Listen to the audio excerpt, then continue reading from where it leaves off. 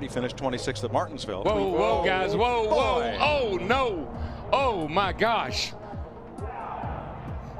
I have never seen anything like that in my life. He hit that wall a ton. Oh my gosh. So you all probably remember 2008 uh, Texas Motor Speedway. You know my second Cup race in the Cup Series, rookie, and going out to qualifying, single car qualifying. Uh, David Gilliland had uh, had gone out and had an engine failure just before I went out. So there was some speedy dry on the track, and I got a little bit high in turn one.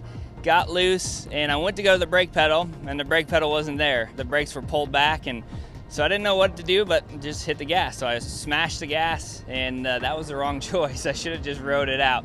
Uh, the car took a hard right, right into the wall, head on, and uh, then barrel rolled about 13 times. And you know, it's so crazy because it plays in my mind slow motion. I can still play it in my mind slow motion. And um, I remember when it